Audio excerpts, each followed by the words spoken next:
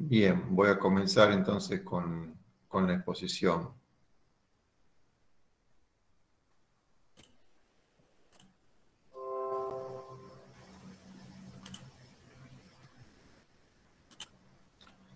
Bueno, vamos a hablar de, entonces de métodos constructivos en puentes.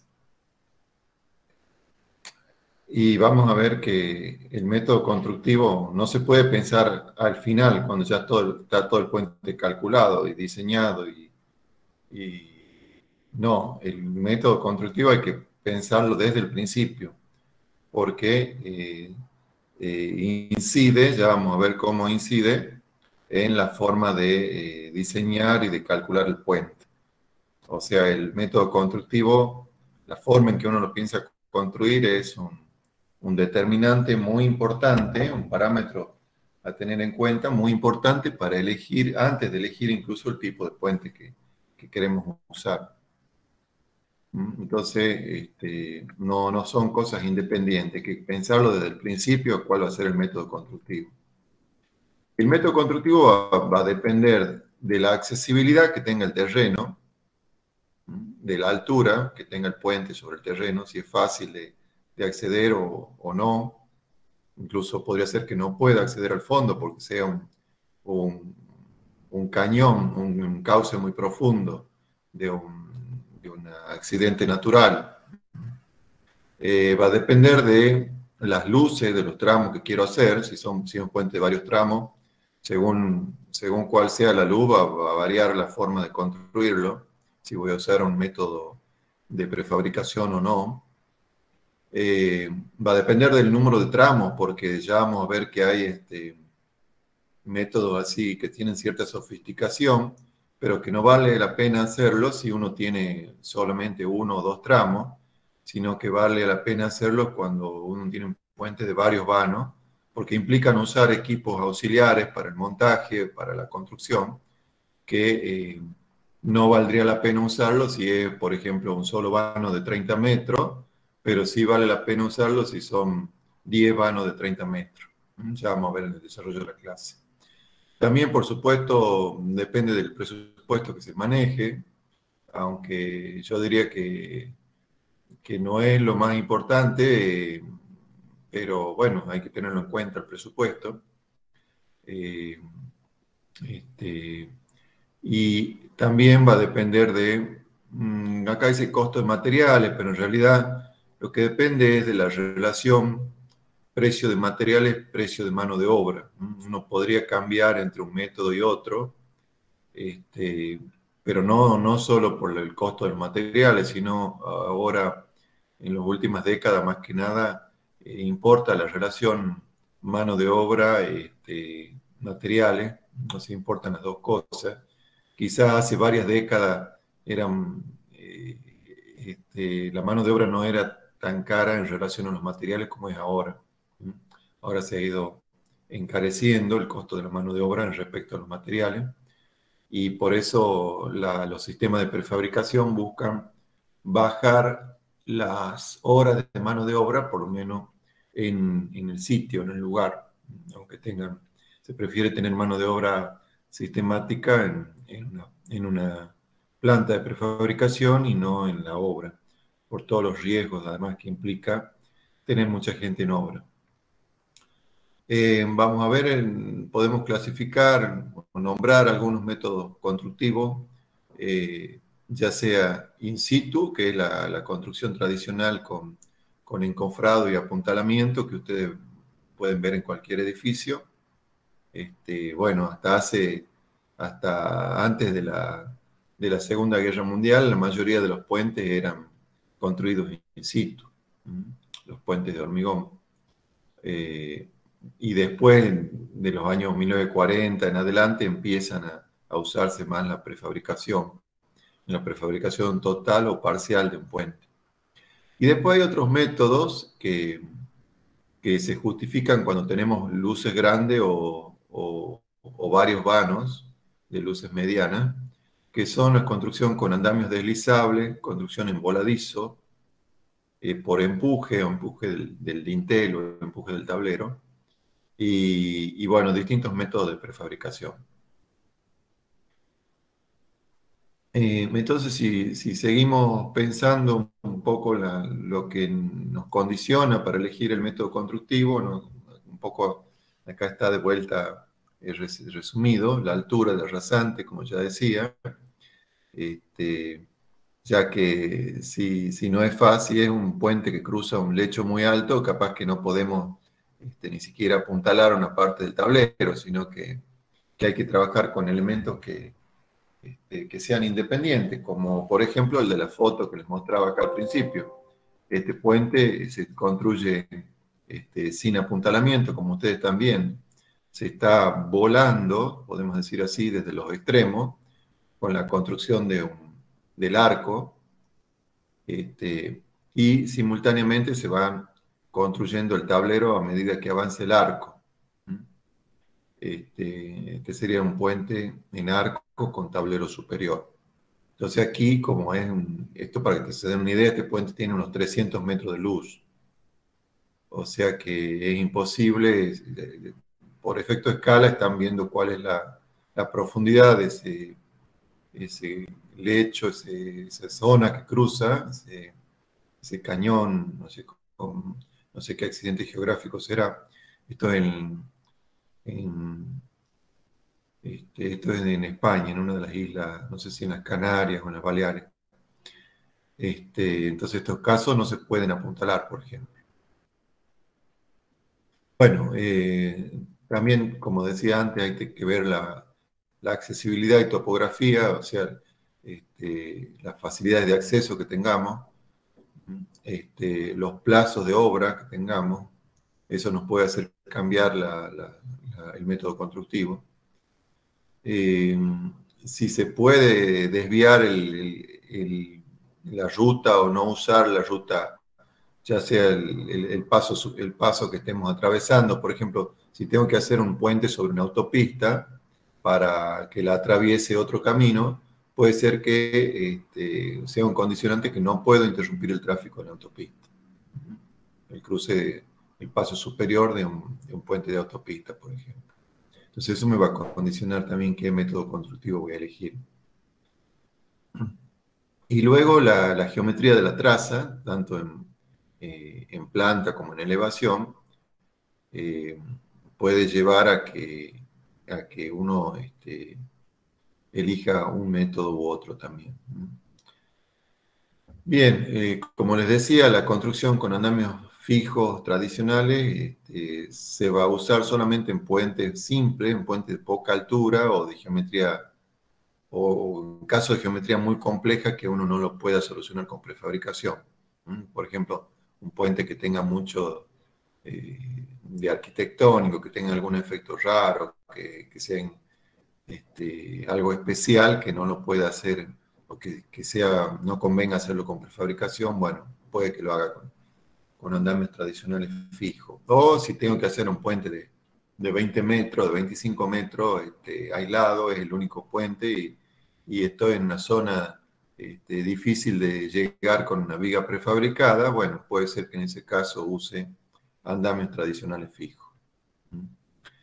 Pero este, acá estamos viendo un ejemplo de lo que sería una construcción de un puente de varios vanos con andamios tradicionales fijos.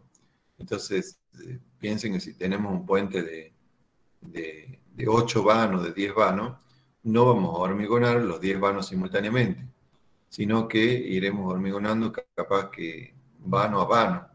Entonces acá lo que se plantea es, en la figura A, primero construir las, todas las pilas, si es necesario, construir este, pilas provisorias adicionales, que serían estas que, intermedias que estamos viendo acá, e ir hormigonando un tramo y un, pequeño voladizo, por ejemplo, un, no un voladizo, porque está apuntalado. Hormigonar un tramo y un sector del tramo siguiente. Acá en esta foto se va avanzando de izquierda a derecha, se marca acá la zona de hormigonado, o sea, como hormigonar un tramo y un sector del vano siguiente. ¿Para qué? Para que la junta de hormigonado quede en una zona que no sea ni la de máximo momento positivo, ni la de máximo esfuerzo de corte. No esté ni en el medio del vano, ni sobre el apoyo, sino en, eh, podría ser un quinto de la luz o un, cuarto de la luz, por ejemplo, buscando de que esa junta de hormigonado quede en una, en una posición este, aceptable. Y como ven en la foto de la derecha, eh, en este tipo de construcción, que sigue siendo con andamios fijos tradicionales, este, a veces es conveniente ir vinculándose, como, como se puede ver, ver acá a la derecha, en la, segunda imagen de la derecha, vinculando los, los andamios y encofrados, vincularlos al sector ya construido. Este, eh, entonces, este, la cantidad de apuntalamientos eh, adicionales que usemos, que serían estas columnas marcadas acá como con reticulado, este, va a depender de las alturas que tengamos este, sobre el puente. Por ejemplo, acá se marca que en la primera figura, si tenemos una altura de menos de 20 metros, este, puede que use, por ejemplo, dos apuntalamientos provisorios en un vano, en cambio, si tengo una altura mayor de 20 metros, este, voy a usar poco apuntalamiento, porque esas, esas columnas que tengo que usar, por ejemplo, acá se plantea hacer una por cada vano, una, una columna adicional por cada vano.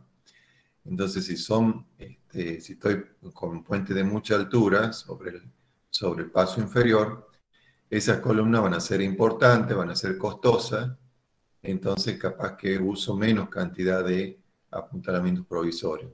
Pero siempre va a ser un equilibrio entre el costo de, esta, este apuntalamiento provisorio y el costo o la complejidad de los este, andamios este, y moldes que use para construir el tablero.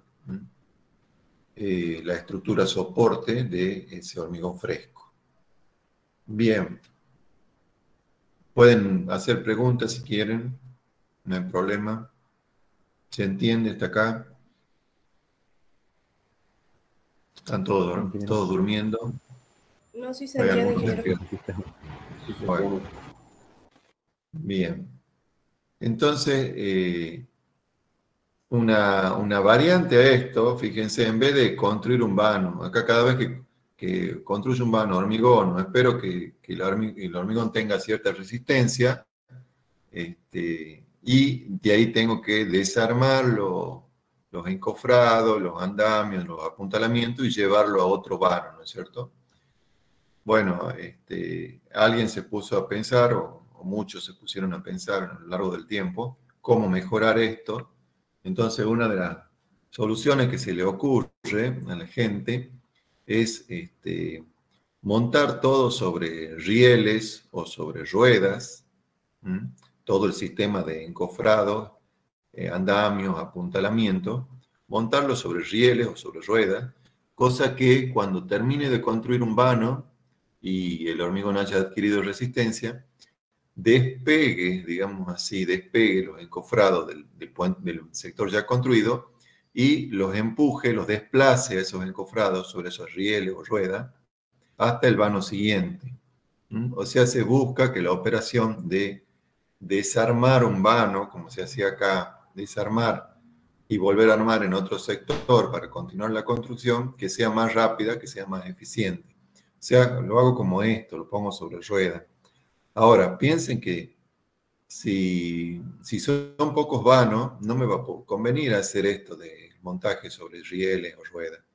Esto me va a convenir hacer, si tengo dos vanos no me conviene hacer todo esto porque no es fácil este, hacer todo este sistema con, con transportable fácilmente, trasladable sobre rieles. Pero si tengo que hacer un puente de 10 vanos este, o, de, o de más vanos, capaz que sí me conviene usar este método. Entonces acá se plantean como ven en la primera figura de arriba a la izquierda, eh, un sector de este, encofrado y apuntalamiento y molde este, formado entre estas tres este, columnas eh, eh, provisorias y desplazables mediante rieles metálicos. En la segunda imagen o en la imagen de arriba a la derecha, ven dos eh, situaciones, una situación de hormigonado donde el molde está pegado al, eh, está en su posición, digamos, para hormigonar, para verter el hormigón, y en la mitad derecha de esa misma figura se ve que se ha despegado, se han desplazado los moldes, se han retraído para poder este, trasladarlo al vano siguiente, empujarlo. O sea, los moldes tienen un sistema en que se pueden este, eh, aflojar, eh, retirar, despegar de la estructura. Entonces, este, bueno, las dos imágenes de abajo son este, vistas o corte esquemáticos de lo mismo. sectores, construir un sector y un pequeño voladizo del vano siguiente, dejar una junta luego desplazar todo el sistema de andamios, lo que se ve en la imagen inferior, y llevarlo a la nueva posición de hormigonado. Entonces, esto, para que sea conveniente, como les digo, tenemos que tener muchos vanos. Este, la idea es desplazar todo el andamiaje sobre rieles, y para eso el terreno inferior tiene que ser fácilmente accesible, no tiene que ser muy alto, y debe ser parejo, sea, uniforme. No puedo hacer esto si estoy cruzando un río, por ejemplo. Sí se, sí se lo puedo hacer si estoy cruzando este, una planicie u otro, u otro camino, por ejemplo, aunque lo, tendré que interrumpir al, al tránsito inferior. Pero bueno, básicamente que el terreno en el que estoy pasando sea parejo, sea uniforme, lo cual es común en puentes este, en puentes en llanura o en puentes urbanos. Eh, cuando hay vigas transversales, este método se complica. Lo ideal sería que no haya vigas transversales, porque si no, eh, se complicaría el, atravesar las vigas transversales. Tendría que retraer mucho más o incluso desarmar algún sector de los encofrados. Eh, ahora, cuando no tengo ese terreno, yo acá recién les decía que el terreno inferior tiene que ser parejo. Si no fuera así, o si tuviera un cruce a mucha altura, el puente pasa a mucha altura, y ya no me conviene estos apuntamientos provisorios, no los puedo hacer porque, como les digo, es difícil montar los rieles porque estoy atravesando un río. Entonces, a alguien se le ocurrió, bueno, hagamos algo que directamente se apoye en las pilas ya construidas. Entonces, eso es la idea de esta propuesta, construcción in situ con andamios deslizables. O sea, ¿qué, ¿qué, se hace? Se hace las pilas primero y después se monta estas ménsulas de forma triangular que ven acá en la imagen de la izquierda, vinculadas entre sí, por ejemplo, con, con cable, con barra, con barras roscadas, por ejemplo. Y esas ménsulas permiten soportar unas vigas metálicas unas vigas metálicas que sirven de apoyo a todo el sistema de encofrados y, este, moldes para, para, construir el puente. Entonces, una vez que he construido este, un vano, lo, lo, despego, digamos así, de, la zona ya construida, y esto tiene, sobre esas ménsulas, tiene un sistema de desplazamiento, podrían ser ruedas, que me permite desplazar todo el molde sobre esta ménsula independientemente del terreno inferior. Entonces se desplaza solo la viga superior del andamiaje. Nos independizamos del terreno, por lo que se puede hacer para cualquier altura de puente. Y este tipo de construcción se trabaja en, luces de, de 30 a 50 metros más o menos, ya que si tengo luces mayores, el costo de esta viga este, va a ser importante y, quizás ya el método va a perder fuerza. Y me va a convenir usarlo cuando tengo muchos vanos, muchos vanos iguales o más o menos parecidos. Por eso acá se habla que la longitud total del puente, para que esto convenga económicamente, debería ser mayor de 300 metros, un número aproximado, eso depende de muchas cosas pero digamos construir un puente de 10 vanos de 30 metros cada vano, estaría bueno con este tipo de construcción, o se han hecho muchas veces con este tipo de construcción. especialmente en otros países. En, en Argentina no sé si hay puentes construidos de esta forma. Y bueno, cuando se puede y cuando se necesita, se pueden usar algunos torres de, o pilares auxiliares durante la construcción. Pero la idea es independizarse de todo elemento de apuntalamiento auxiliar. Eh, seguimos con el mismo método. Acá vemos en las imágenes, en la zona de la izquierda de la imagen, la mitad izquierda, la situación durante la etapa de hormigonado y la eh, eh, mitad derecha, la situación durante la etapa de empuje, donde se observan en detalle la diferencia de una imagen con la otra. En la derecha, los, en la de la derecha, los encofrados y moldes se han retirado, se han despegado levemente de la estructura, de la estructura ya construida, para poder desplazarlo este, hacia el vano siguiente. Bien, entonces se usan este, sistemas hidráulicos para este, fijar eh, los encofrados, los moldes a, la estructura y luego para despegarlo. Bien. De nuevo, acá un esquema de lo mismo, un puente que se va construyendo avanzando desde izquierda a derecha, en círculo se marcan este, elementos eh, de, soporte a la izquierda y de soporte a la derecha. En este caso, eh, el de la izquierda está, esto se está construyendo con esta, con esta eh, sistema auxiliar que sería lo que se ve en la, parte de abajo, que permite soportar este, un grupo de elementos a construir. Luego se eh, avanza de izquierda a derecha y bueno, se esquematiza cómo se va desplazando el, todo el molde sobre las ménsulas, sobre las, la, estructura de, molde de, encofrado vinculada a las ménsulas, cómo se lo va desplazando y se va avanzando en la construcción del puente.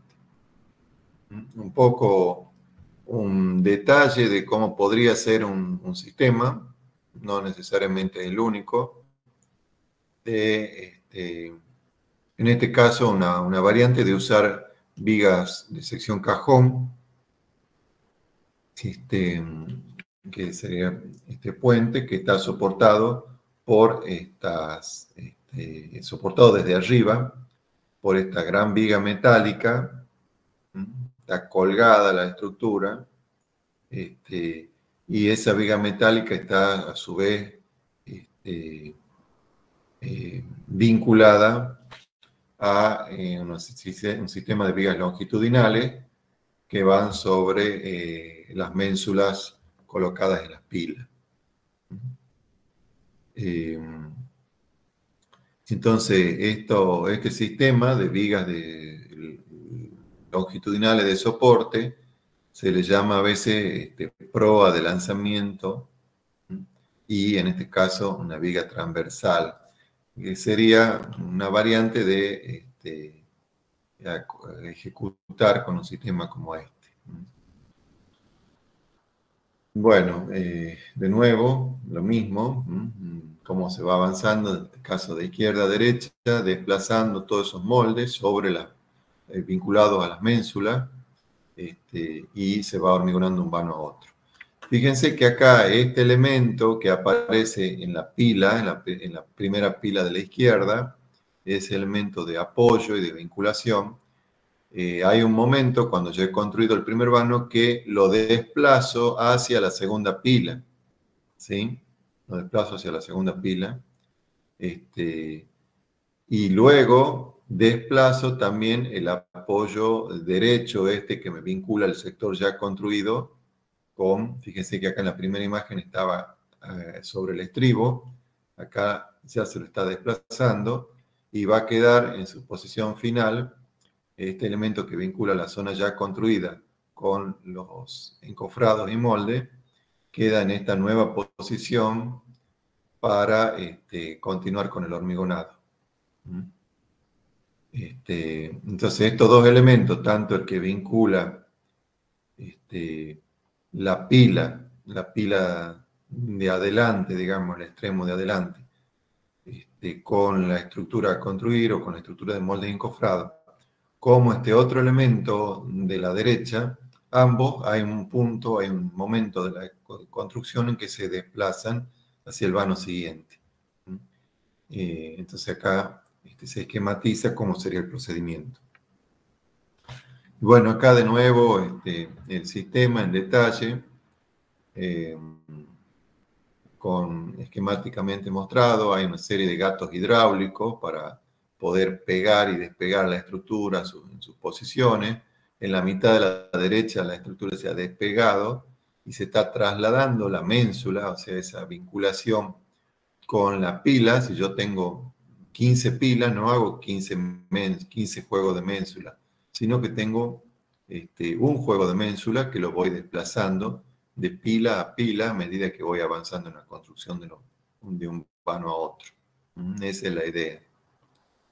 Este, y para que eh, disminuir los rozamientos que tengo entre las ménsulas soporte y las vigas esta, este, se suele usar materiales como el teflón o este, que me, van a facilitar, van a disminuir el rozamiento y van a facilitar el deslizamiento, o sea, el deslizamiento de este, estos elementos auxiliares de un vano a otro.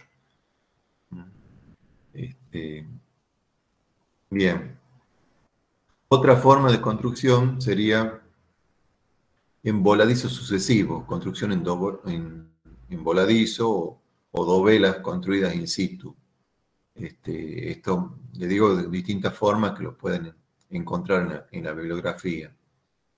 ¿Mm? ¿Qué es lo que se hace acá? Se construye la pila primero, se construye una pila y se va este, haciendo voladizo a izquierda y derecha de la pila en forma eh, eh, simultánea por una cuestión estática, no me conviene avanzar hacia un solo lado por una cuestión de, momentos flectores, sino avanzar simultáneamente hacia ambos lados, usando un, una especie de fábrica in situ que tengo en cada extremo del tablero, que este, es lo que se llama acá un carro móvil, un sistema de hormigonado móviles. Esto va a ser rentable generalmente en puentes de luces grandes.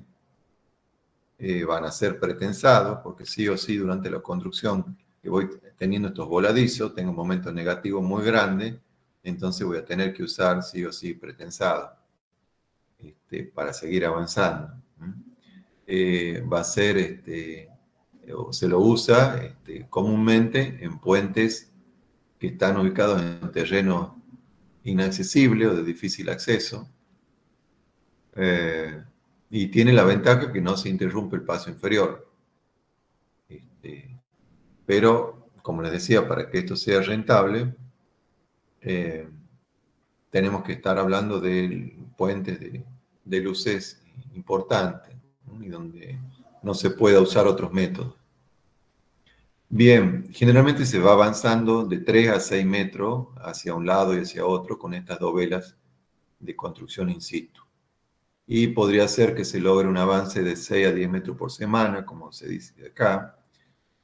Este, casi siempre la sección que se usa es la sección cajón, que se adapta muy bien a estos tipos de construcción. Bueno, acá vemos de nuevo en detalle. ¿Sí? que esas las que van construyendo por cada, en cada oportunidad se va pretensando cada novela? Sí, es conveniente, casi siempre se va a usar el pretensado, porque, este, como les digo, eh, tenemos momentos negativos crecientes, entonces si solo pensamos en barras de hormigón armado, eh, va a llegar un momento en que eh, no sería factible, no sería fácil de resolver. Tendríamos demasiada armadura y, una densidad de armadura muy grande. Entonces lo que se hace se va pretensando las dovelas por grupo.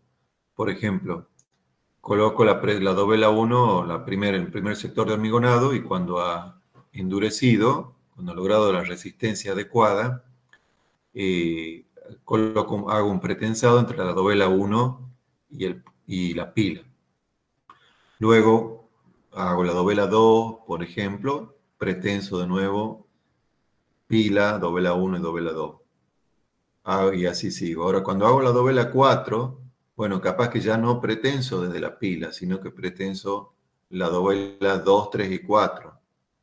Cuando hago la 5, eh, hago un pretensado en la 3, 4 y 5, por ejemplo. O sea, voy superponiendo pretensados que van uniendo las dovelas por sectores.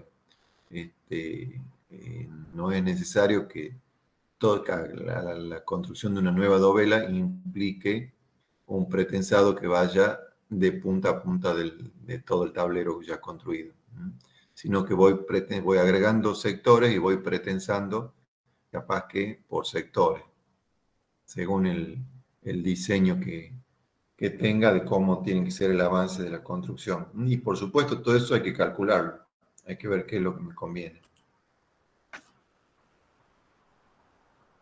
Bueno, acá vemos unas fotos de ese tipo de construcción tanto la imagen superior como la inferior responden a lo mismo.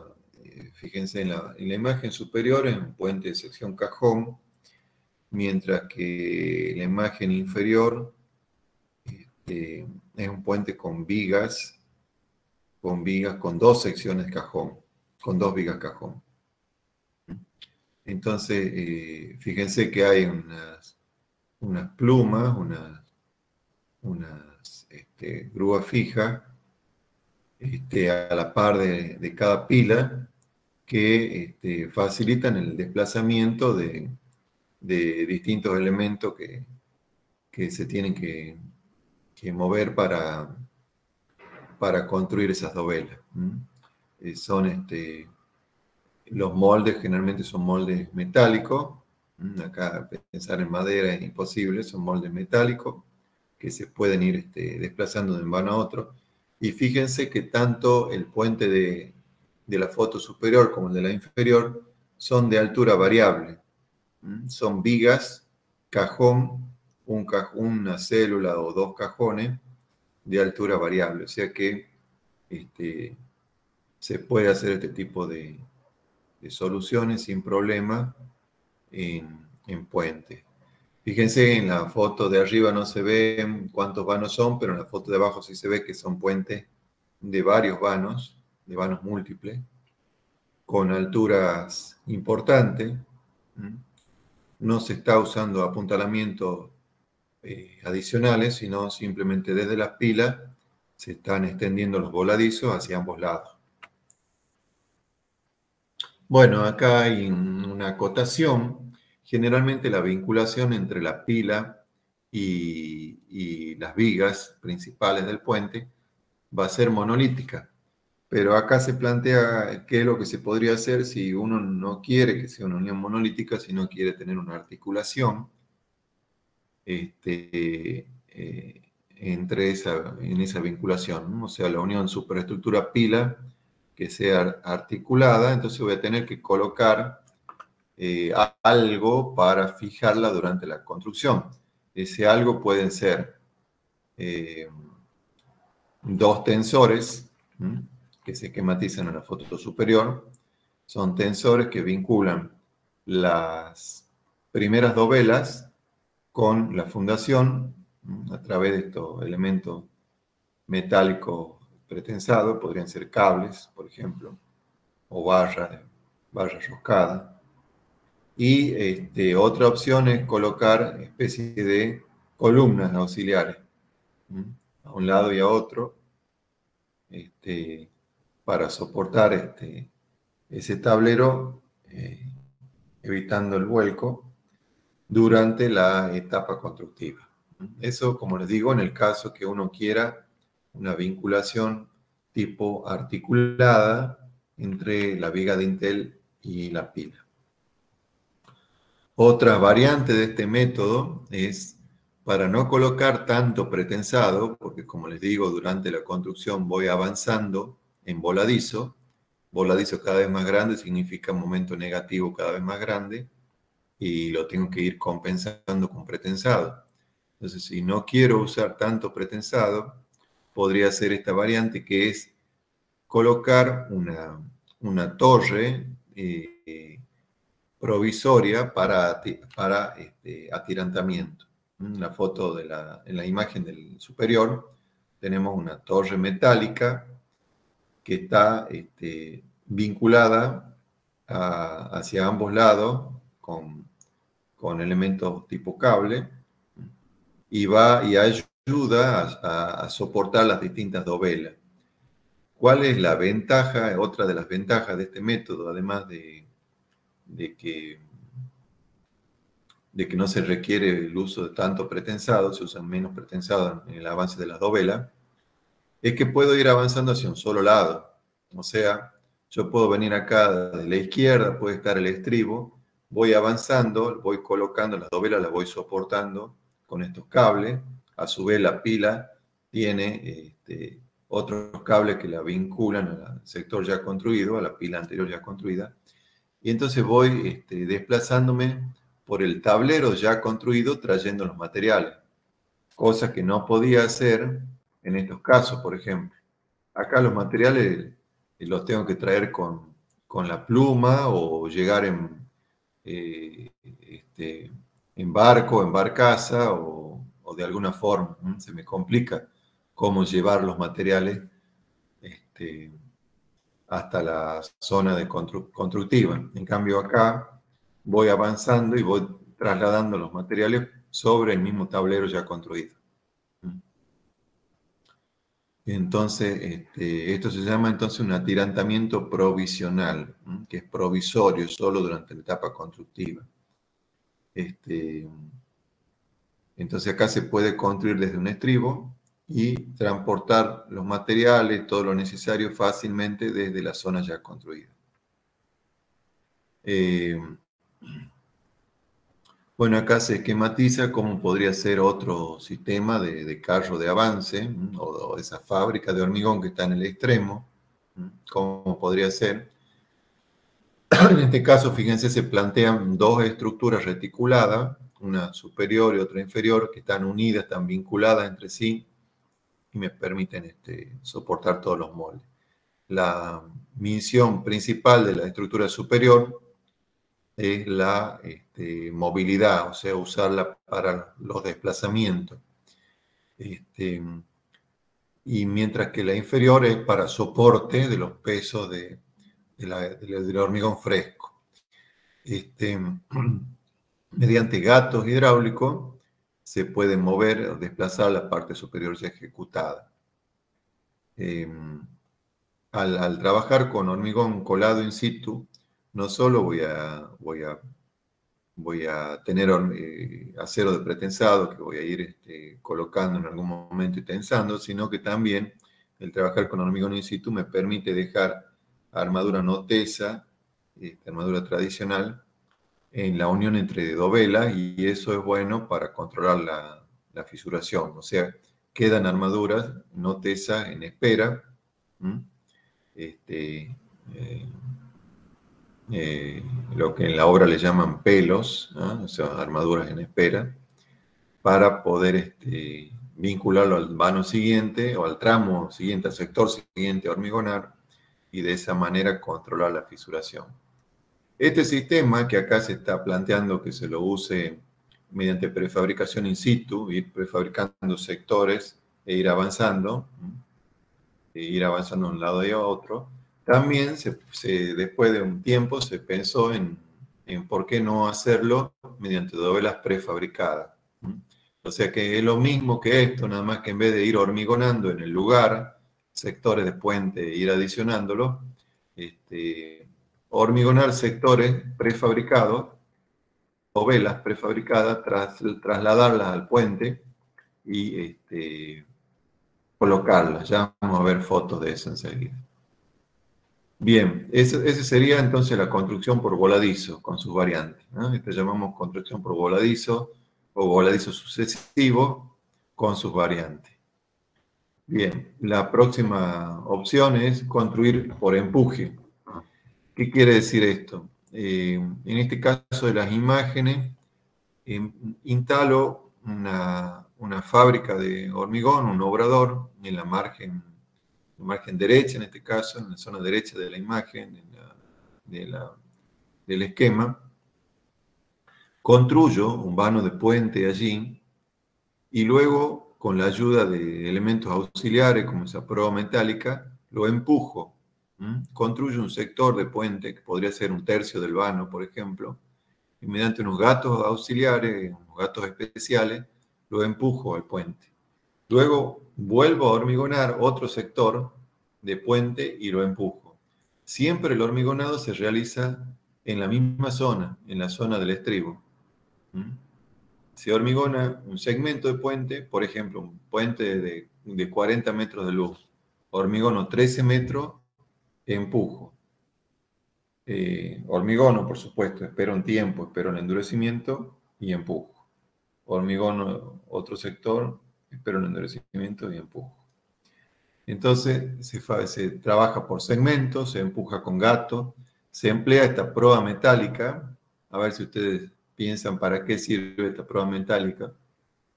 A ver qué, opinión, qué opiniones hay. ¿Para qué sirve la prueba metálica?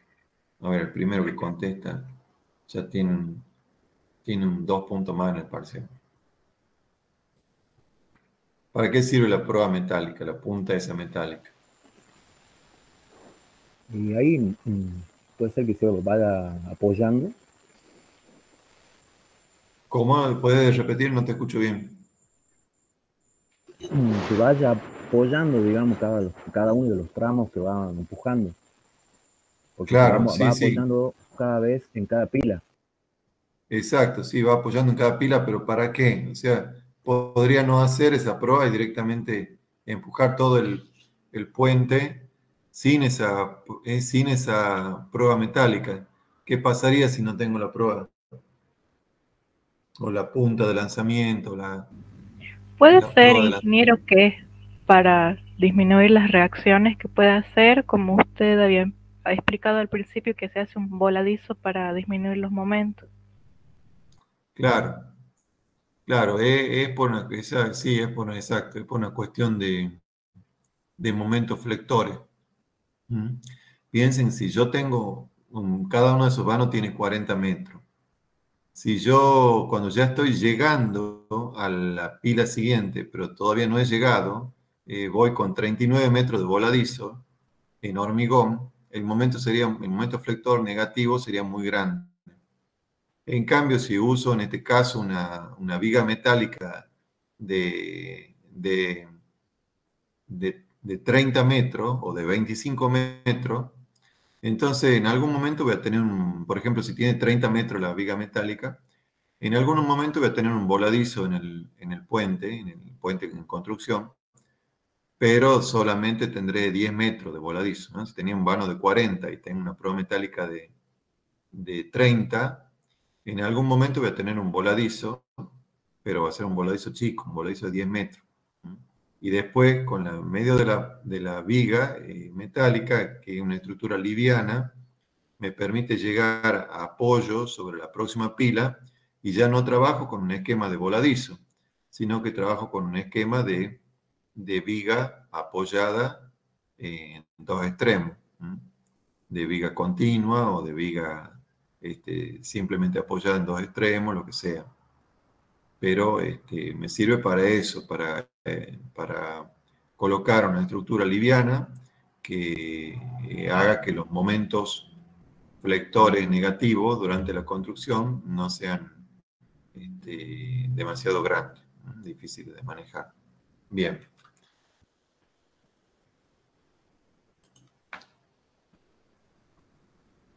Eh, entonces le decía que hay unos gatos especiales que se usan para la operación del empuje.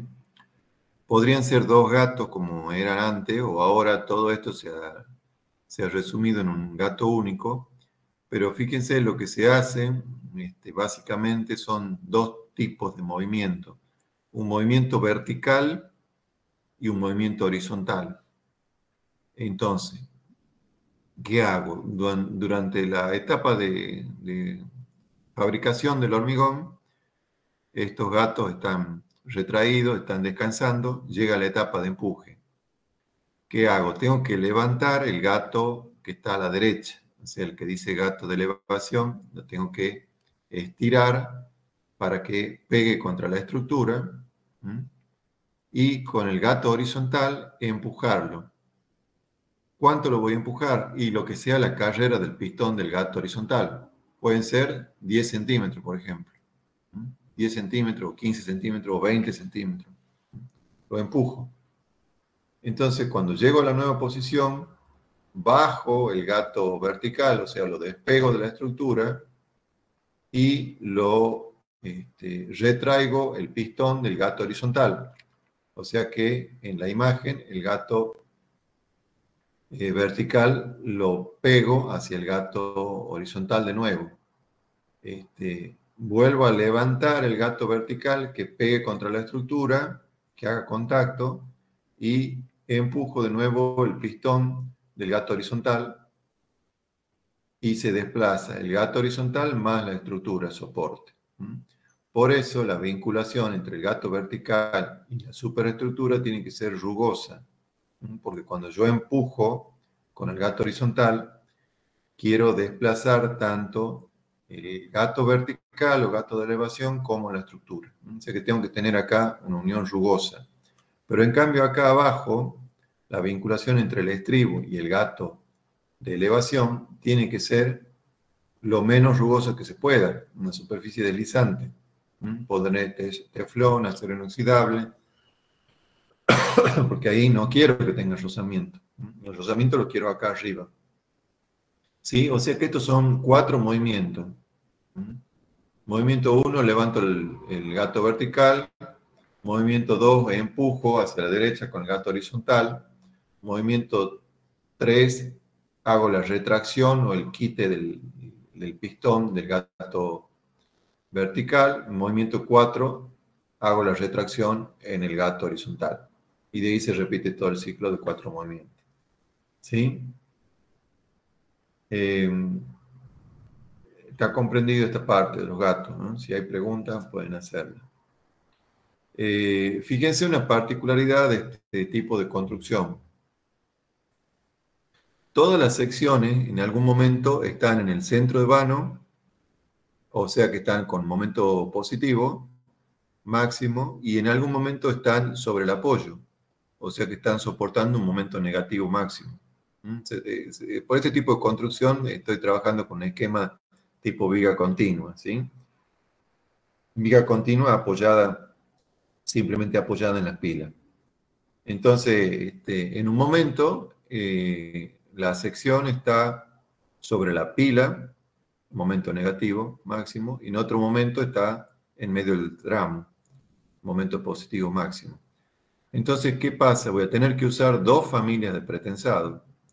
Una para soportar esos momentos positivos en esa sección y otra para soportar los momentos negativos en la misma sección.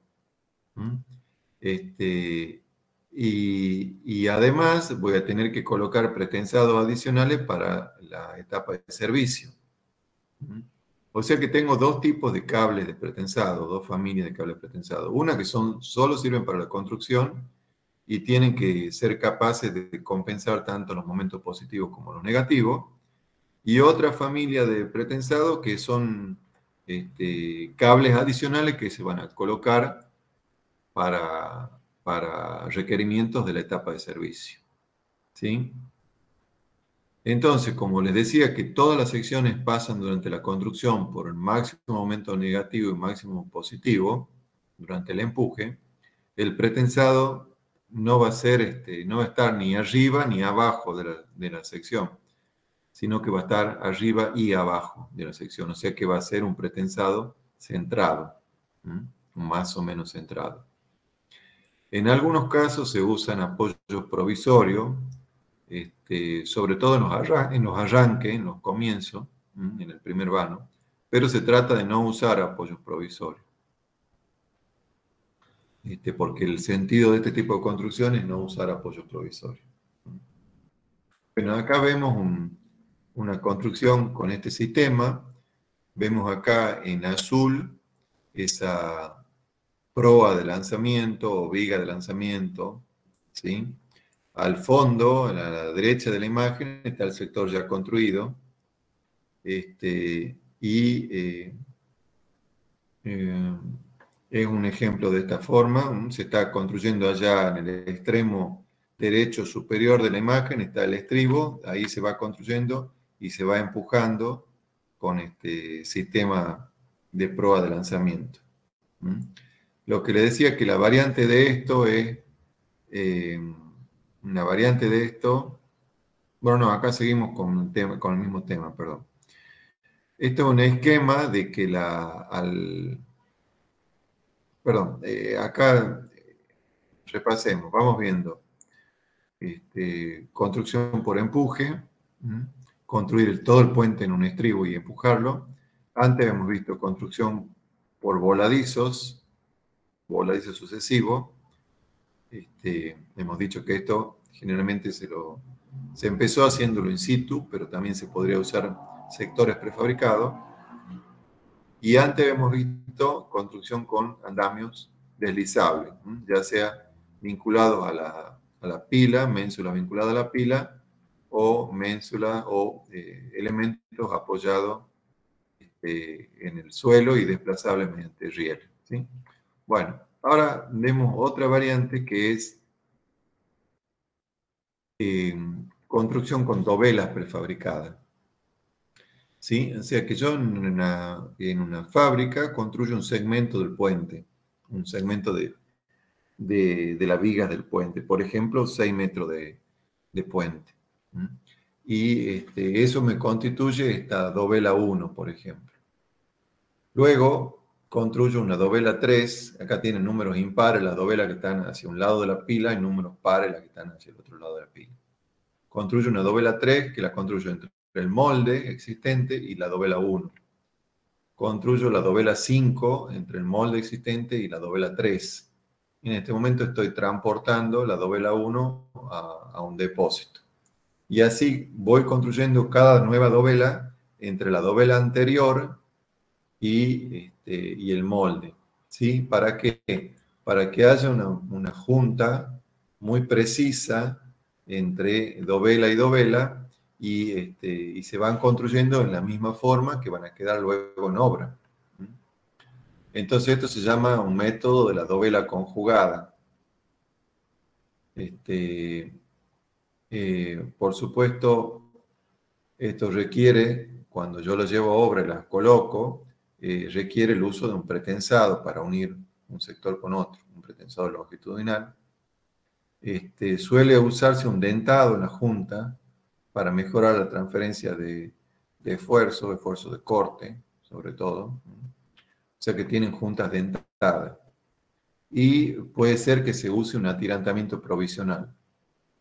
Entonces, el esquema sería algo como esto, usar una, gran estructura metálica que va este, sosteniendo a distintas dovelas que voy poniendo en posición para que luego, luego pasar un cable de pretensado y unir, coser toda esta dovela con un pretensado.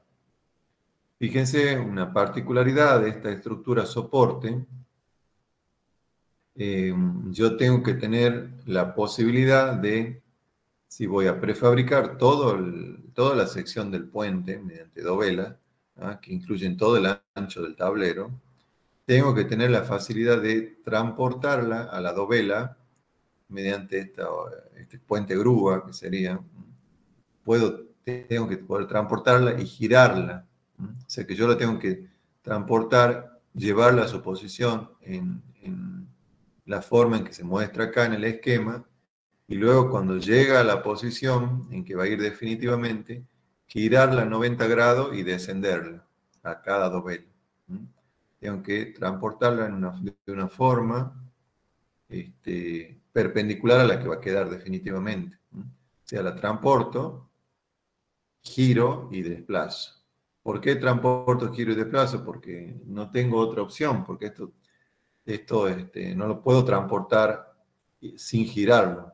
Necesito girarlo, necesito pasar en medio de esta estructura soporte y girarlo. Ahora vemos fotos enseguida. Esta sería una foto de un sistema así. Acá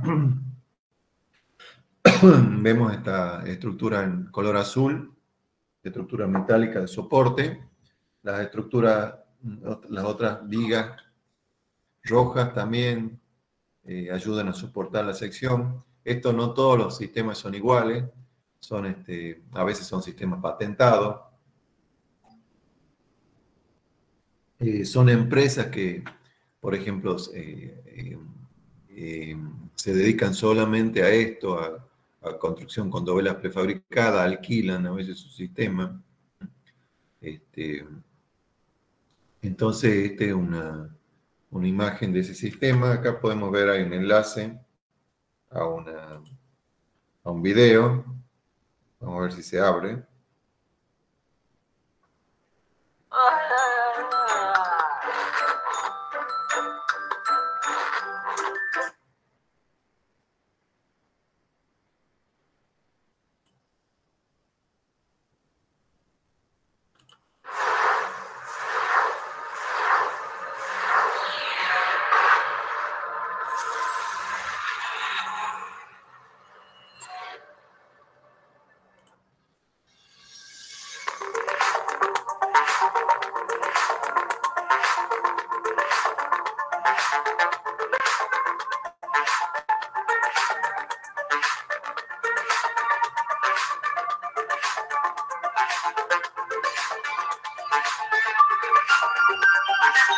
Thank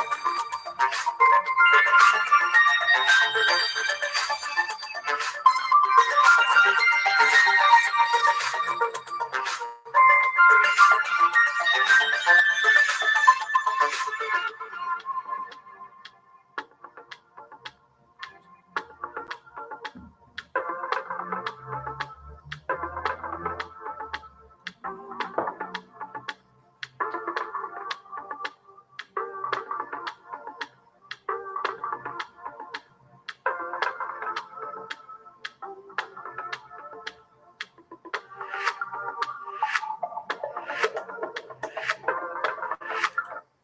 Bueno, como ven ahí están haciendo pilotes para construir una, una, una platea, una base para una pila.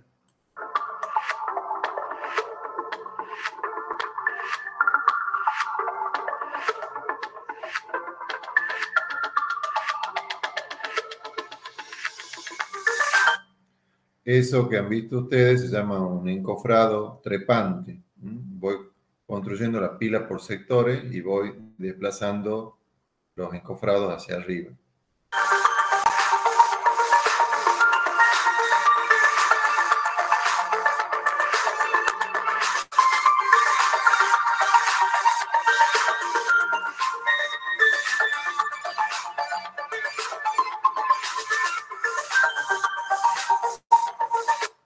Fíjense cómo se resalta que se puede hacer una pila de dimensiones variables con este tipo de elementos auxiliares de construcción.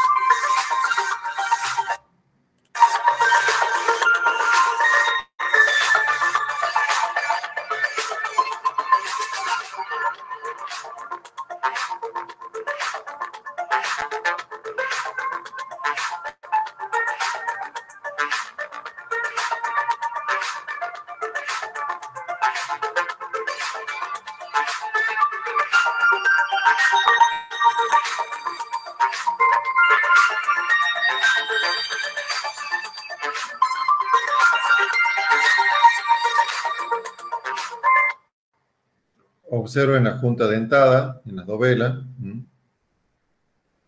Observen lo complicado que son estos sistemas de, retraer para retraer la, pieza del molde. Entonces, por eso es que si tengo que hacer un solo vano, eh, dos vanos, tres vanos, no vale la pena. Esto vale, la pena cuando son muchos vanos de puente.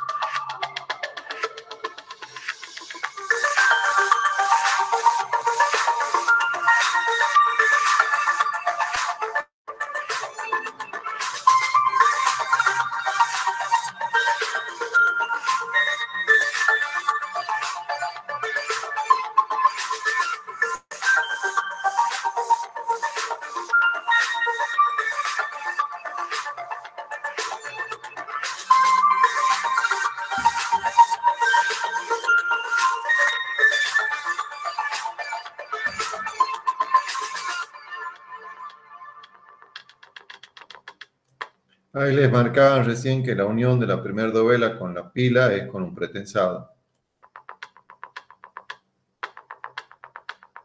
Y ahora han unido las dovelas entre sí también con pretensado.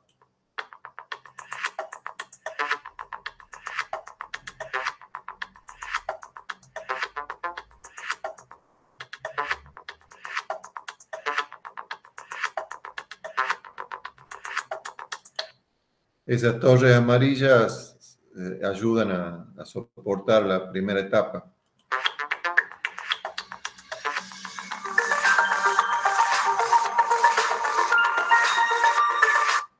Ahí se está por hormigonar la dovela de cierre, que a veces se la hace in situ, no muchas veces se la hace in situ, y lo que se está mostrando es que hay que compatibilizar los desplazamientos, a veces hacer una pequeña corrección, si bien uno viene avanzando, viene haciendo mediciones topográficas, pero puede haber diferencia de flecha entre el sector de la izquierda y la derecha, que hay que compensarla en este momento.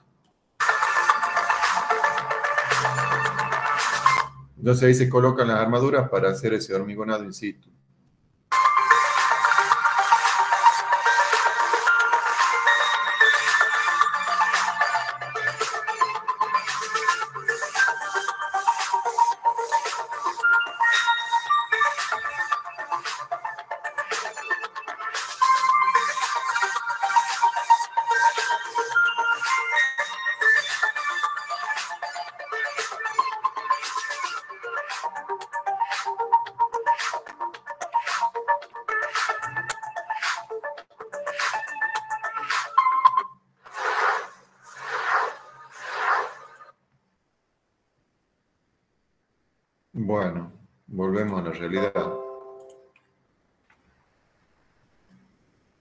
Bien.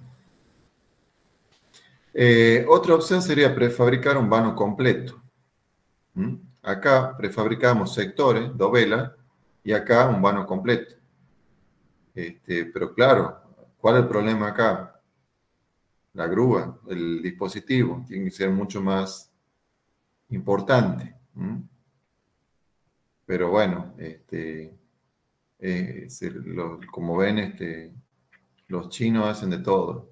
Están logrando este, ser cabeza en la construcción de puentes. Em, bueno, la construcción con vigas prefabricadas, con vigas de lanzamiento. Acá vamos a ver también algún video.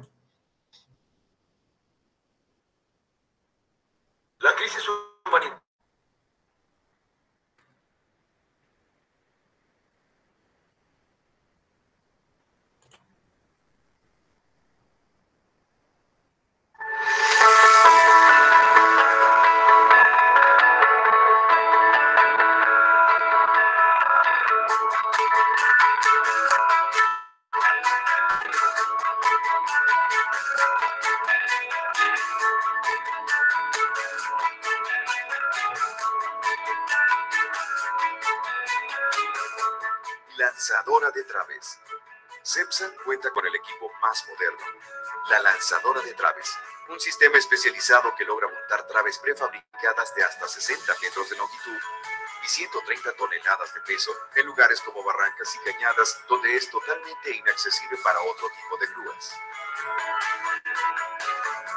Una vez que el sistema está totalmente armado y colocado en su posición inicial, se procede al autolanzamiento de la viga principal para llegar al primer cabezal del puente.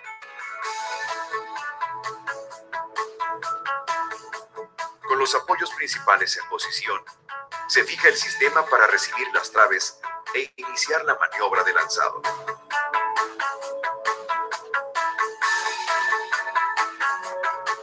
Las traves prefabricadas de concreto, desde su lugar de fabricación, se transportan hasta el puente por medio de un tracto camión con dolly. De acuerdo al procedimiento constructivo del puente, el mismo camión en reversa puede acercar la trave hasta el extremo posterior de la lanzadora para iniciar la maniobra. Al llegar a la posición debajo del malacate frontal de la lanzadora, se coloca el gancho para levantar el extremo de la trave prefabricada. En un solo movimiento conjunto, el malacate y el tractocamión avanzan hasta que el otro extremo de la trave alcanza la posición del malacate posterior del sistema. Con el gancho del malacate posterior se levanta el otro extremo de la trave. Una vez izada la trave, el tractocamión se retira. Con la trave suspendida por debajo de la viga principal del sistema, los malacates avanzan longitudinalmente a una velocidad aproximada de 5 metros por minuto. Lanzando la trave prefabricada al claro que se va a montar.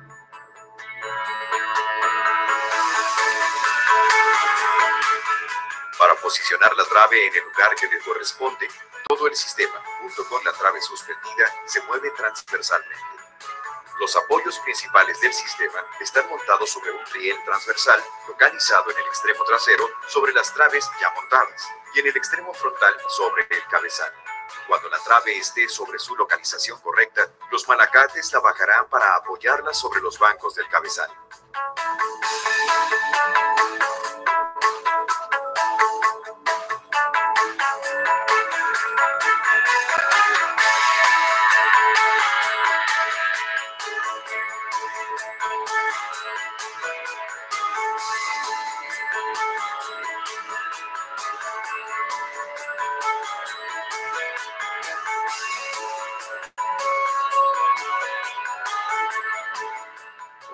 Todas las traves del claro, se procede a lanzar el sistema al siguiente claro. Con ayuda de los apoyos auxiliares, el sistema se va apoyando en tres puntos para ir autolanzándose. Los apoyos se van recorriendo a lo largo de las traves previamente montadas, haciendo que la viga principal avance longitudinalmente sobre el puente. Cuando el extremo frontal llega al siguiente cabezal, se apoya directamente sobre él y se fija. Es importante mencionar que el apoyo de la pata trasera auxiliar y principal requiere de calzas niveladas de madera. El proceso se repite hasta completar el montaje de todas las traves.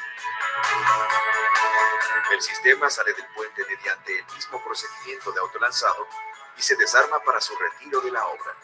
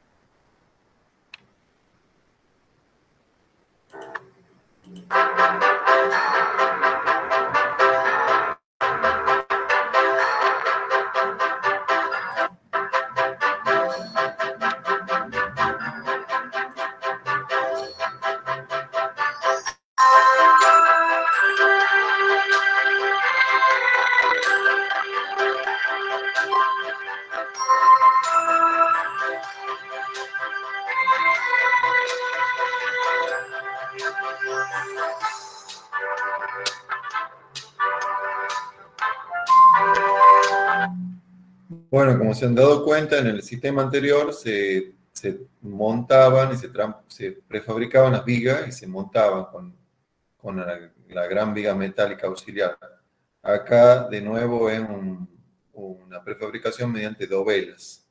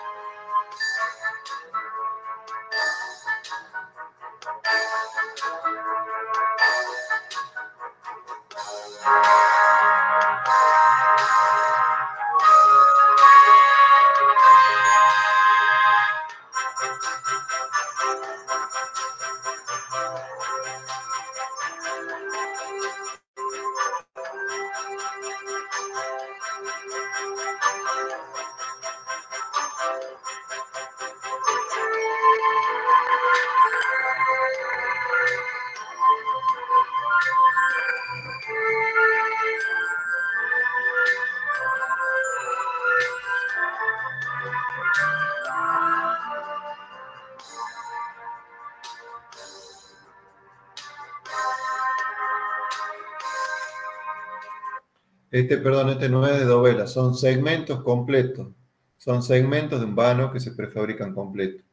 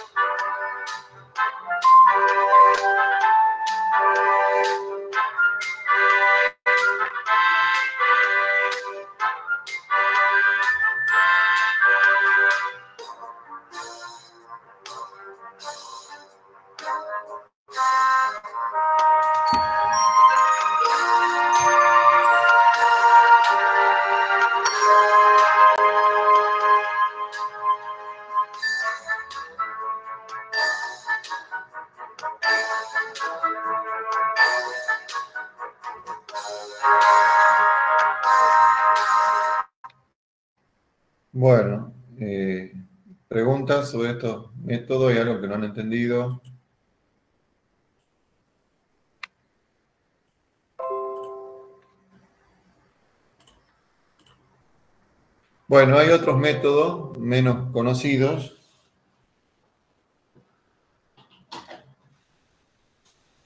Este, como construir el puente con desplazamiento y rotación. Esto significa, son métodos muy poco, poco usados. Rotaciones, por ejemplo, construir el puente sobre una margen de un río, este, dirección del río y después girarlo 90 grados y colocarlo en posición. Bueno, por ahí pueden que, que vean algo así en la bibliografía, pero no es muy común.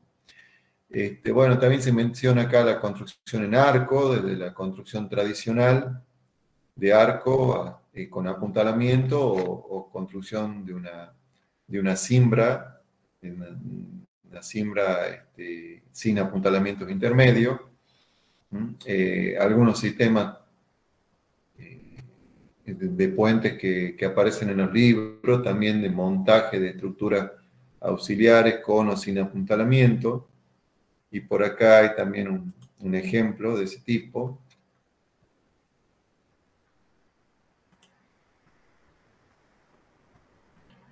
Eh, vamos a verlo. El subtramo Cañaveral, embalse de Alcántara, perteneciente al tramo Talayuela-Cáceres, de la línea de alta velocidad Madrid-Extremadura, actuación encomendada al administrador de infraestructuras ferroviarias, ADIF, tiene una longitud de 6 kilómetros y medio y supone una inversión de 64,85 millones de euros. Diseñado para tráfico mixto con doble vía de ancho internacional y plataforma de 14 metros de anchura, cruza el río Tajo mediante un gran viaducto de 1.488 metros. El cruce se produce en una zona donde el cauce presenta un importante ensanchamiento por la influencia del embalse de Alcántara. Atendiendo a los condicionantes medioambientales de la Declaración de Impacto Ambiental, se ha proyectado un gran arco de hormigón que apoya fuera del embalse, evitando así disponer pilas sobre el río. El trazado del viaducto presenta un primer tramo en curva de gran amplitud, seguido de un segundo tramo en recta. La distribución de luces viene influenciada por el paso sobre el río Tajo. El tablero sobre el arco se divide en seis vanos de 54 metros que apoyan en él. Los vanos de acceso son de 60 metros, intercalándose entre ellos dos vanos de transición de 57 metros a cada lado del arranque del arco. Se consigue así una distribución armoniosa y adecuada para los 26 vanos que conforman el viaducto. El elemento más emblemático del puente es el arco de 324 metros de luz entre apoyos con una altura superior a los 70 metros sobre sus cimentaciones y a los 90 metros respecto al nivel medio del embalse. Será una referencia a nivel mundial para viaductos de ferrocarril de esta tipología, superando el actual récord de luz construido en España y situándose entre los mayores del mundo. El arco está formado por una sección rectangular achaflanada hueca, tipo cajón, de canto variable. En su arranque tiene un canto de 4 metros y una anchura de 12. En la clave, la sección se reduce hasta un canto de 3 metros y medio y 6 de ancho. Por su parte, el tablero presenta una sección cajón de hormigón pretensado con canto constante de 4 metros. El ancho inferior del cajón es de 5 metros, 6 metros y medio en su parte superior, con sentos voladizos laterales que completan la anchura total de la sección hasta los 14 metros. Las pilas tienen altura variable para adaptarse al perfil del terreno, superándose los 72 metros en la zona más cercana al cruce del río. Todas las pilas constan de un único fuste de sección cajón hueca, excepto en su cabecero, donde la sección se maciza para recibir las cargas transmitidas por el tablero. Un aspecto a destacar en la construcción de este viaducto es el empleo de hormigones de alta resistencia de hasta 70 megapascales. Proceso constructivo. El proceso constructivo de este gran viaducto se inicia con la ejecución de las cimentaciones. Todas ellas se resuelven mediante grandes zapatas directas sobre el sustrato rocoso para repartir las considerables cargas que han de soportar. Además, en las zonas afectadas por el arco, plintos de arranque y zapatas de retenida de las pilas adyacentes, el terreno se mejora mediante inyecciones con lechada de cemento para rellenar las posibles fracturas existentes en el macizo rocoso y así minimizar las posibles deformaciones y asientos. Para esta mejora del terreno es preciso realizar más de 7.000 metros de perforación en el macizo rocoso.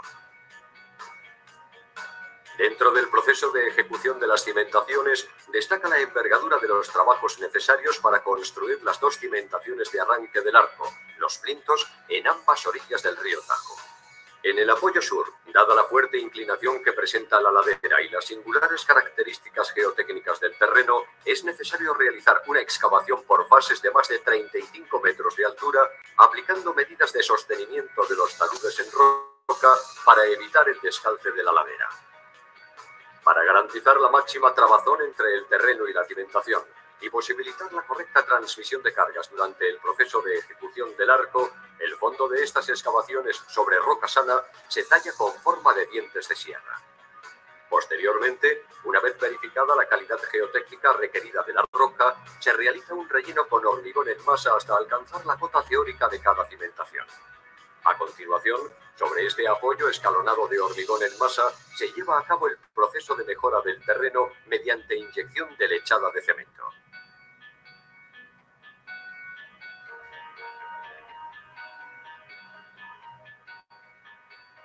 Una vez finalizado este proceso, se construyen las cimentaciones de los dos plintos por fases hasta alcanzar las cotas de arranque del arco y de las pilas extremas. El volumen total de hormigón necesario para la ejecución de estos dos plintos es superior a 13.000 metros cúbicos. Estas cimentaciones tienen unas dimensiones de 23 metros de ancho por 23 metros de largo y están diseñadas para recibir una vez finalizado el arco, una carga característica superior a las 29.000 toneladas. También es reseñable la ejecución de las zapatas de las pilas de retenida. Para compensar los grandes esfuerzos de tiro a los que se someten durante la construcción del arco, se realiza un proceso previo de anclaje de las mismas al terreno. Para ello, se ejecutan un total de 4.862 metros de anclajes distribuidos en 221 unidades con una fuerza de pesado de 160 toneladas por anclaje. A medida que van finalizando las cimentaciones, se inicia la ejecución de los alzados de pilas en los vanos de aproximación en ambas márgenes del río. Para ello, se utilizan encofrados trepantes en tramos de 6 metros de altura.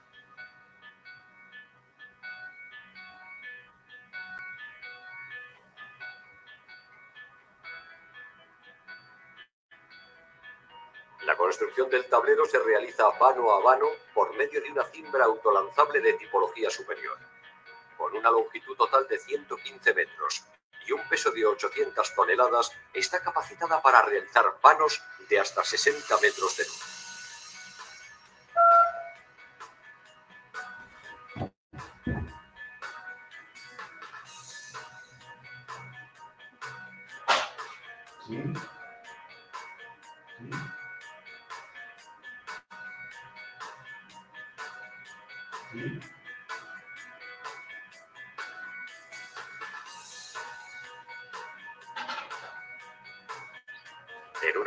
Fase se ejecutan los 11 vanos de aproximación del lado norte, desde el estribo 1 hasta la fila 11 situada sobre el plinto de arranque del arco. En una segunda fase, una vez trasladada la autocimbra al estribo 2, se realizan los nueve vanos de aproximación al arco del lado sur.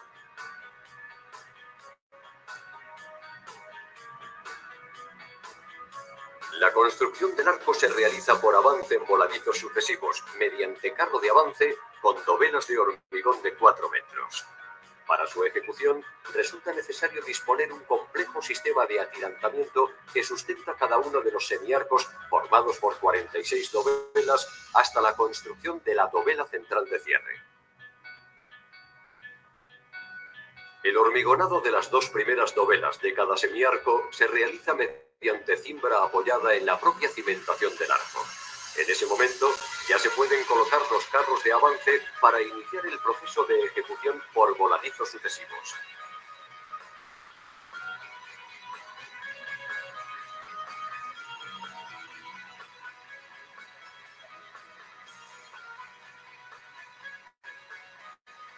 Sustentación de cada semiarco se disponen 15 parejas de tirantes, a razón de un par de tirantes cada tres dovelas, en un proceso donde podemos distinguir dos fases. En la primera se ejecutan las 20 primeras dovelas, sustentadas mediante seis parejas de tirantes de acero ancladas al fuste de la pila situada sobre el arranque del arco. En una segunda fase se ejecutan las dovelas restantes de cada semiarco desde la 21 hasta la 46. Estas novelas se sustentan mediante nueve parejas de tirantes desde una torre metálica provisional de 53 metros de altura construida sobre el tablero del puente que a esta altura del proceso constructivo ya ha llegado hasta este punto. Para equilibrar el sistema de atirantamiento es necesario ejecutar para cada pareja de tirantes la correspondiente pareja de tirantes de retenida anclada a la zapata de la pila adyacente. La longitud de los tirantes oscila entre 40 y 180 metros y la composición de cada tendón varía entre 11 y 63 cordones para resistir cargas máximas de 750 toneladas. Los tirantes se montan según avanza la construcción del arco y se actúa sobre ellos en diferentes fases, hasta un total de 23 maniobras de pesado o despesado por cada semiarco. El proceso finaliza después de colocar los últimos tirantes y de hormigonar las dos dovelas finales. Se retira entonces uno de los carros y con el otro se hormigona la clave, cerrando así el arco. El proceso se completa desmontando los tirantes provisionales y las torres metálicas de atirantamiento. Con el arco terminado, se construyen las cinco pilas situadas sobre el mismo para, a continuación, acometer la ejecución del tablero mediante dos autocimbras similares a la empleada en los vanos de acceso. Los dos vanos centrales se construyen mediante cimbra apoyada directamente sobre el arco. Se ha previsto el hormigonado simétrico del tablero para no crear esfuerzos excesivos, admitiendo un desfase máximo de un solo vano. Para controlar la construcción de una estructura evolutiva y compleja como esta, se ha previsto un sistema de instrumentación que permite verificar en cada instante el comportamiento de la estructura. El sistema utiliza dos equipos de adquisición, tratamiento y transmisión de datos situados a cada lado del arco, a los que se conectan un total de 113 sensores. Entre estos últimos se encuentran las células de carga que permiten conocer las tensiones en los tirantes, los extensómetros de barra embedidos en hormigón para conocer los esfuerzos en pilas y arco, los ergoinclinómetros para controlar los giros tanto del arco como de la torre de atirantamiento provisional, las ondas térmicas que recogen el gradiente térmico en pilas, torres de atirantamiento provisional y secciones más significativas del arco o los anemómetros, que monitorizan la acción del viento incidente sobre la estructura y los esfuerzos asociados.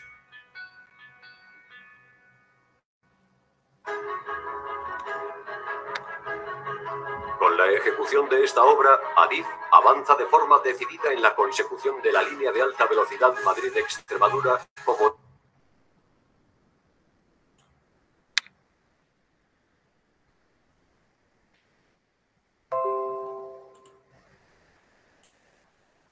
Bueno, entonces este, quedan unas imágenes para que las vean después ustedes. Son ejemplos de aplicación, como han visto en los videos. Eh, los, puentes, estos grandes puentes, a veces tienen combinación de varios sistemas constructivos. Eh, acá hay ejemplos de, una empresa. Eh, en primer lugar, puentes rectos de luces medias construidos in situ. hay ejemplos con las luces que se han usado, con algunos detalles. Este, la, fíjense la cantidad, cuando se usa un método, cuando se usa otro, en función de más o menos las luces que se manejan, la cantidad de vanos. Eh, este se está, esta, esta, construcción es, como les decía, sobre, sobre rieles. Hay un terreno plano. Este, son 20 tramos centrales de 24 metros, más otros tramos laterales.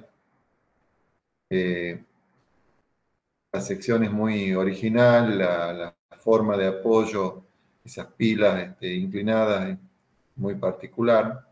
Bueno, y estos son construcciones con, con encofrado autolanzable, con cimbra autolanzable, acá vinculadas a la, a la ménsula, son puentes, puentes de gran altura, este, vinculadas a la pila, se colocan ménsula. Bueno, acá son distintos ejemplos que les dejo para que, para que los vean ustedes después. Este, de eh, este puente ya lo hemos visto hace un tiempo. Distintos casos de métodos constructivos. Estos puentes empujados. Este, mm, fíjense, siempre aparece la sección cajón. Este, fíjense las luces en las que se los usa, 40, 50 metros.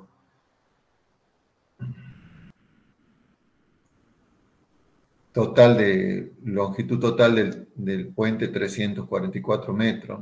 Como les decía, si son pocos vanos no conviene hacerlo. Acá vemos adelante la, la proa de lanzamiento rojo, la proa metálica. Eh, y así.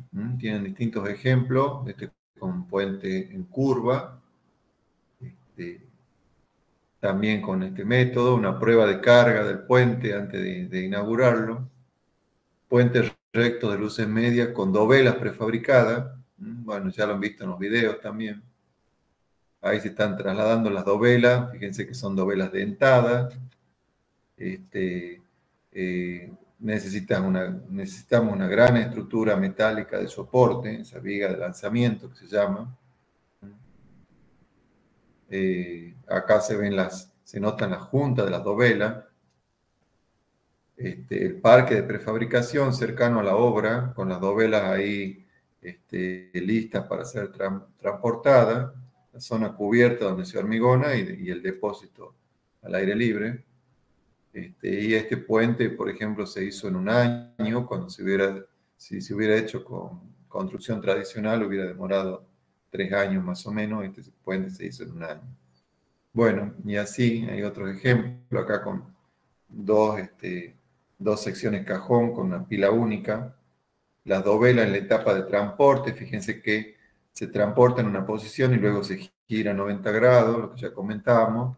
Fíjense que tienen la junta dentada, tienen los lugares para colocar las vainas de pretensado.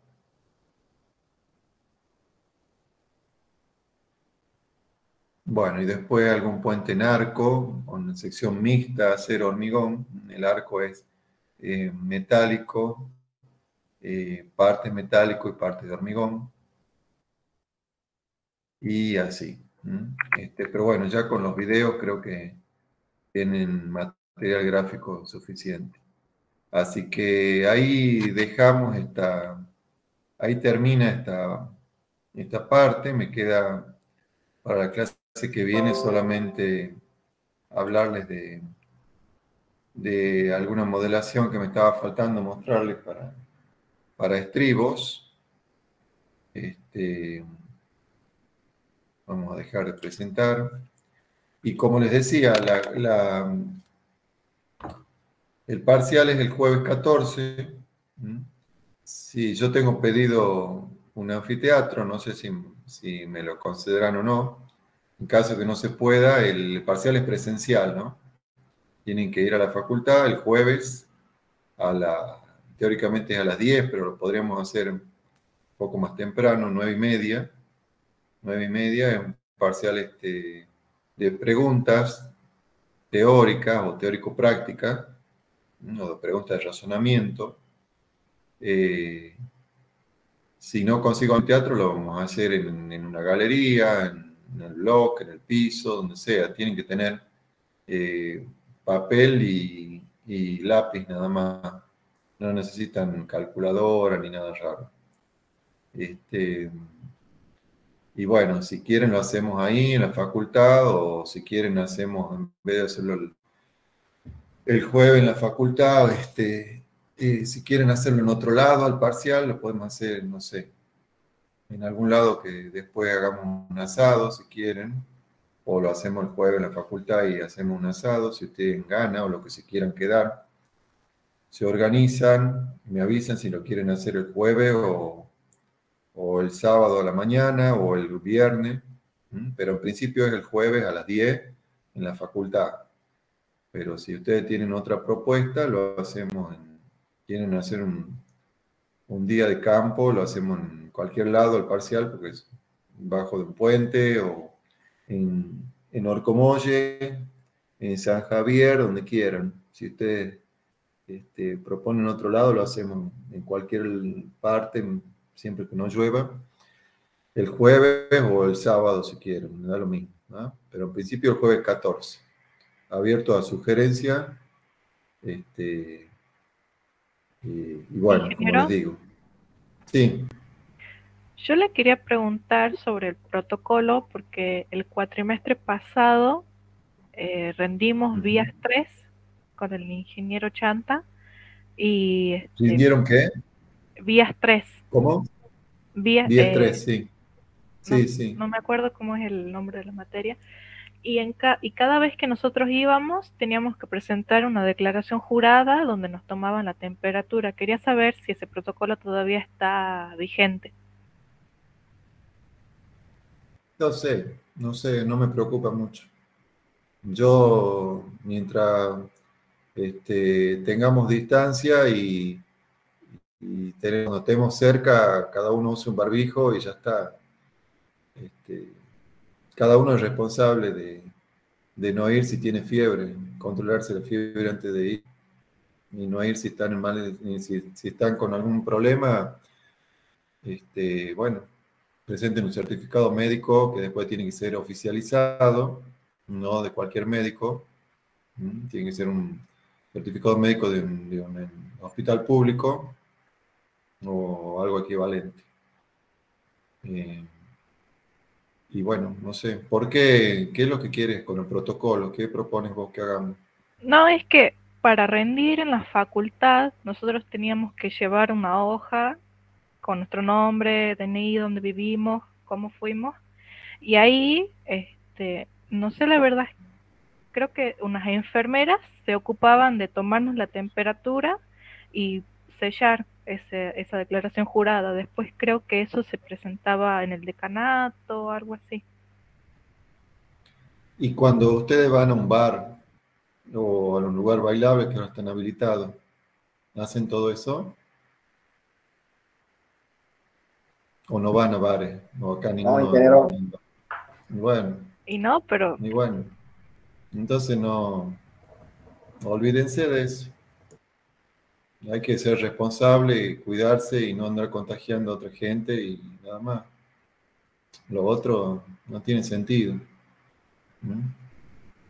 Sí, ¿para qué nos queda tanto con temperatura, enfermera, todo si, si después vamos a, a los bares y ya no nos cuidamos tanto? Este, así que bueno. Ingeniero, perdón, ¿el sábado está disponible los anfiteatros para rendir en la facultad? No, es que si rendimos en la facultad va a ser el jueves. El jueves 14 ah, a las 10 o a las 9 y media. ¿ah? Pero si no me dan anfiteatro, este, eh, va a ser en la galería, en el piso. Se sientan en el piso y si hay buen tiempo en el césped, me da lo mismo. O si quieren, como les digo, lo hacemos en otro lado. Este... Vamos a otro lado, ingeniero. ¿Tendría otro lugar para sugerirnos, ingeniero, para el sábado? Porque en el grupo de WhatsApp están poniendo todo de que sería mejor el sábado. Eh, ¿Sugiere algún lugar usted para el sábado? Este, mm, a ver, puede ser en, el, camino, en, cualquier zona de, de Orcomolle, de la rotonda, en la rotonda de la Perón, si quieren lo hacemos, eh, en la rotonda de la, de la Conquija. Este, no, propongan ustedes, podemos hacerlo bajo el puente de, el puente que está ahí en el Río Muerto, el que se ha hecho nuevo hace poco. Vamos, pegamos una mirada ahí en el puente y eh, nos buscamos un espacio verde y se sientan separados, se sientan en el piso, separados un metro y algo cada uno, uno de otro, y llevan una hoja y un lápiz y nada más. Y en una hora lo hacemos el parcial. No, no es más de una hora. Y bueno, ya que vamos a algún lugar así, este, eh, si se organizan, hacemos, hacemos un picnic, o si no, si lo hacemos en la facultad, este, es más protocolar, es más difícil hacer algo así. Pero no sé, este, eh, podemos ir a, si se animan, vamos a San Javier, al edificio viejo de la universidad, y ahí hay asadores, y podemos hacer unos asados ahí. Si no, están las 33 viviendas más adelante, que es de la universidad. Claro, eh, hace mucho que no voy por ahí, no sé cómo está el tema. En el de la, en el que está en el edificio abandonado hay asadores. Y ahí hay un bar. hay varios asadores chicos. ¿Cómo? Ahí hay un bar en las 33 viviendas, también. Yo creo también, bueno, organicen ustedes y me avisan. Yo, a mí me da lo mismo. Si quieren, lo hacemos el jueves, el viernes o el sábado. Pero bueno, si no, si no se organizan y no me dicen lo contrario, es el jueves a las nueve y media en la facultad. Quedamos así, hacemos una pausa y después siguen las clases prácticas y nos vemos el jueves en todo caso para que les muestre eso de, moderación en no más de 20 minutos y me hagan las preguntas que quieran sobre cualquiera de los temas.